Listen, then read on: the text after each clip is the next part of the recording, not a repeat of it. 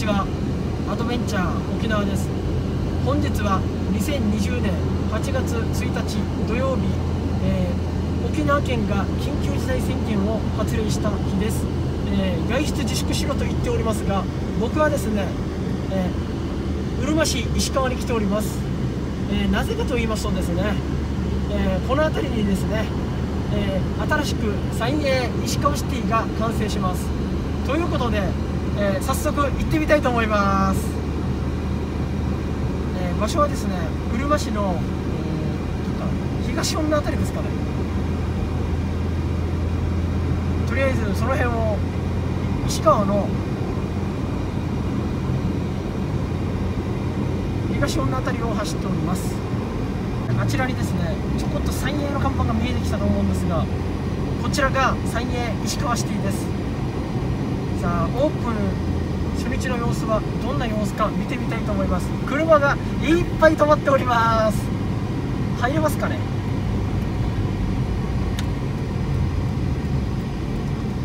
では入りたいと思います。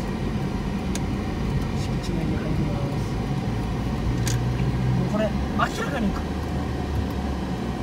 止められないですね。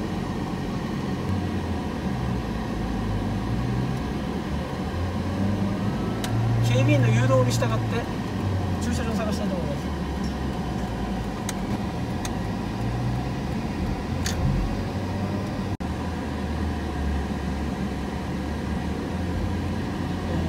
駐車場空いてなさそうなので屋上に行きたいと思います、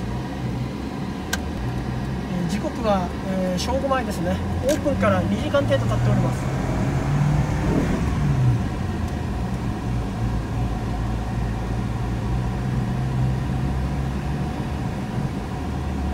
駐車場です？止められるか？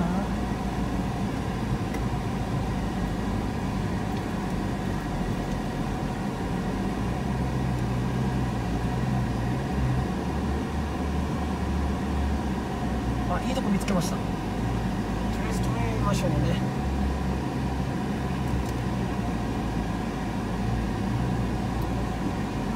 はい到着です。はい到着しました。今からですね石川シティの中に行きたいと思います。え屋上駐車場はこんな感じです。え地下駐車場と1階駐車場は全く空きがありませんので屋上に来ました。では入ってみたいと思います。コロナに感染したら怖いのでとりあえず消毒します。三栄特有の吹き抜けがあります。下では青果市をやってますね。2階建てですのでなんかあんまり大きい感じはしないですね、えー、地下駐車場もあるようです、えー、食品館もありますね。普通の三栄です、えー、食品売り場はまあまあ密です、えー、オープン初日からでしょうか。飲み物類が普通の三栄よりちょこっと安く売っております。なんとパンも全品15%オフです、えー、カード払い専用レジもあります、えー、食品売り場にはですねカード払い専用レジがたくさんありました、えー、チラシもありますね。8月1日から7日まで、え食品が安いようです、青果市もやってるようです。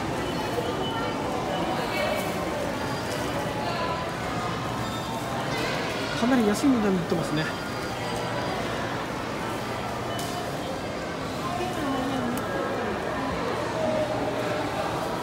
おちゃんと果物系も売っております。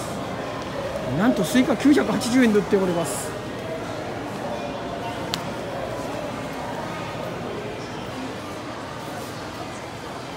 専門店街を歩いてみます。松本清があります。エディオンもありますね。やばいやばいやばい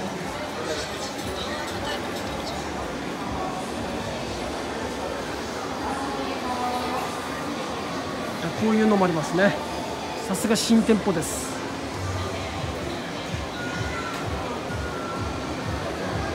携帯ショップもあります借金がありますね三栄系列は最近は100円ショップはキャンドゥが入る傾向が強いですね。そして ABC マートもあります。ドッグズサンクズというお店がありますね。何のお店なのかよく分かりませんがこういうお店もあります。えー、餃子の王将やジョイフルなどサンエーに入っているフードコートお店がありフードコートもこんな感じで賑わっております。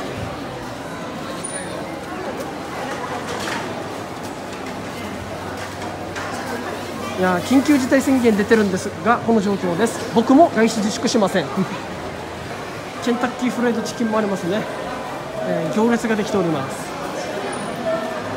和風亭もあります。そして医療館もちゃんと揃ってますね。ゲームセンターもちっちゃいではあるんですが一応端っこにありますね。書店もあります。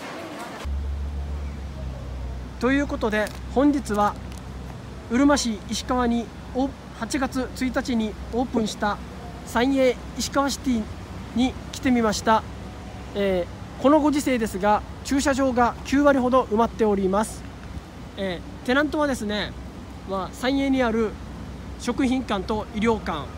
エディオンそして和風亭やジョイフルなどがありました、えー、その他には携帯ショップがあったり、えー、洋服屋さんも、えー、少ないではあるんですが12店舗ありました、え書店も1店舗ほどありこの今まで石川やこの辺りに住んでいた人は串川とかまで行かれてたと思うんですがこの辺で買い物できるので大変便利になったと思います、えー、長々と説明しましたがご視聴ありがとうございました。チャンネル登録高評価よろしくお願いします。